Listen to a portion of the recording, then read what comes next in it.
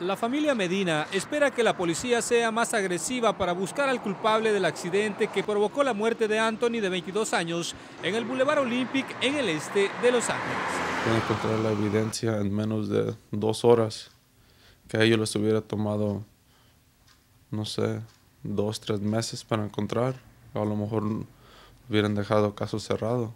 Es muy triste que con la pena que tiene mi familia, mi sobrino tenga que ir a la calle buscando qué pasó. En su angustia, preguntó y preguntó hasta encontrar una grabación de una cámara de seguridad que no se puede mostrar completamente a petición de la familia.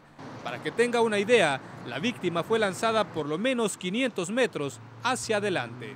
Justicia porque no es justo que una familia pase por algo así. La única información que tienen las autoridades es que el responsable de este accidente de tránsito conducía un vehículo tipo Subaru Impresa, el cual abandonó rápidamente el lugar. El vehículo viene ahí donde viene ese carro rojo. El vehículo venía muy rápido. La tragedia se suma al sufrimiento de los Medina. El padre de Jesse está luchando con un cáncer desde hace seis años y ahora Anthony deja un vacío que no puede ser llenado. Yo no lo voy a ver en las fiestas de la familia, que es lo mucho más difícil que puede pasar uno.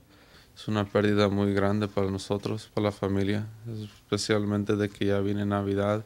El conductor irresponsable se dio a la fuga y dejó sin papá a Hazel de dos años y a Rina sin su esposo. Carlos Vázquez, Noticias 62, tu ciudad, tu equipo.